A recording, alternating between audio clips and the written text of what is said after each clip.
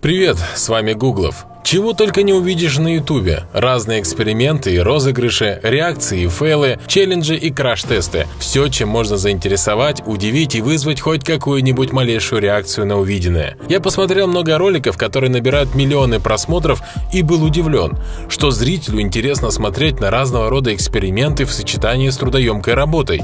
Мы с друзьями тоже решили попробовать сделать некий эксперимент со спичками и построить вулкан. Многочасовая, многодневная работа, надеюсь, не оставит вас равнодушными. И, пожалуйста, после просмотра этого видео напишите нам комментарии, нужно ли нам продолжать снимать такие видео или нет. Заранее спасибо. Итак, поехали. Для начала мы купили 30 тысяч спичек, нарисовали ровный круг и начали кропотливо строить будущий вулкан.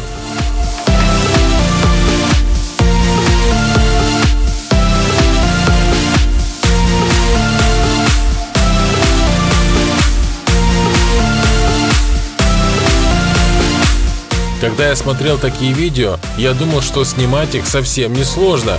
Но как же я ошибался! Вот здесь наш вулкан вдруг резко мне начал напоминать летающую тарелку НЛО и торт-муравейник. Мы тут же сходили за тортом, попили чай и продолжили постройку нашего пока еще не до вулкана. Далее нам нужно было сделать красивую вершину вулкана, поэтому мы стали аккуратно отделять от спичек верхнюю часть селитрой.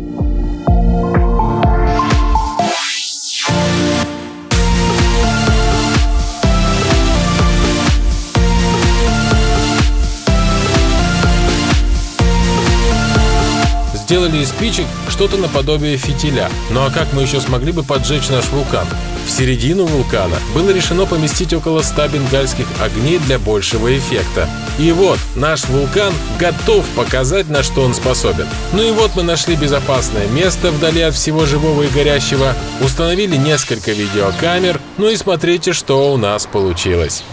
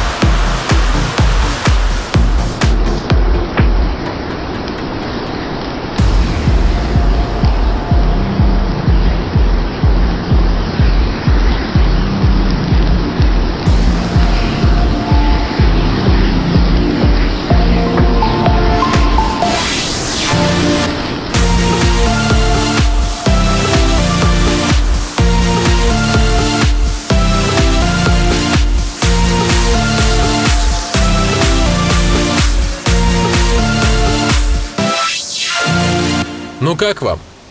Сказать честно, мы ожидали гораздо большего эффекта, и, наверное, для этого нам просто не хватило спичек. Сначала мы ужасно расстроились, но потом вдруг решили, что в следующий раз мы купим 1 миллион спичек и попробуем сделать невероятное. Ого, впереди нас ждет огромная работа, так что подписывайтесь на канал, и совсем скоро мы снова порадуем вас огромным строением из 1 миллиона спичек и, надеюсь, вау-эффектом от большого «Дневного огня».